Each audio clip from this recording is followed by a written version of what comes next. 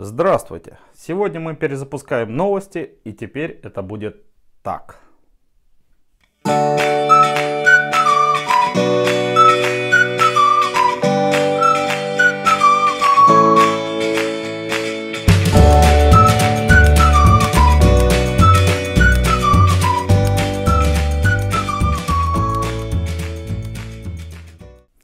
Сегодня в выпуске вы узнаете, чем порадовал нас Болгаз, рестайлинг от Висман и новинка Ренай. Балтийская газовая компания выкатила сразу 6 моделей колонок. Такие как 4508, 4511R, девятка, 11, Болтгаз Комфорт и обновленная легенда 4510.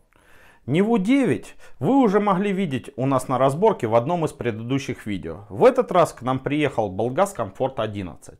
В ближайшее время мы с вами посмотрим из чего он состоит. Производитель позиционирует данное оборудование как российское. Я, честно говоря, не знаю, где производятся микровыключатели и датчики, но вот так выглядит производство теплообменников в Армавире. А вот и новые гидроузлы отечественного производства. На первоначальном этапе с ними возникли небольшие проблемы, которые очень быстро устранили. Есть в них один небольшой недостаток, который мне не нравится. Это отсутствие предохранительно-сбросного клапана, он же штуцер для слива. Ну, как говорится, первый блин комом. Не будем зарекаться, но в последнее время Болтгаз меня не очень радует. Но с данной линейкой у них все впереди.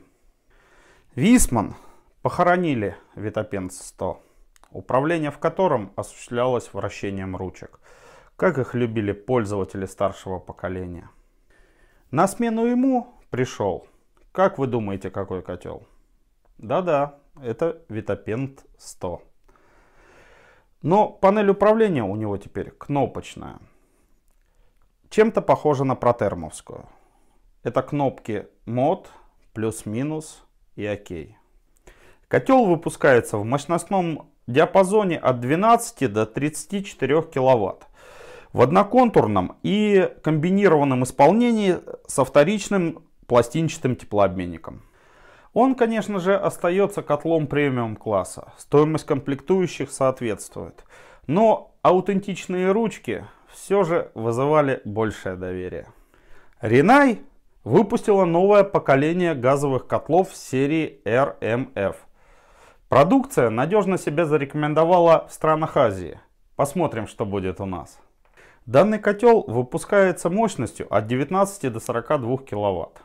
В принципе, Ренай как Ренай. Но теперь у него есть несколько вариантов пультов. Стандарт, Deluxe и Wi-Fi. Стандартный пульт позволяет полноценно управлять котлом и теперь он цветной. В Deluxe появляется возможность недельного программирования и еще больше экран. Ну и Wi-Fi, аналогичен предыдущему, но с ним пользователь может управлять котлом с приложения на смартфоне или своего компьютера из любой точки.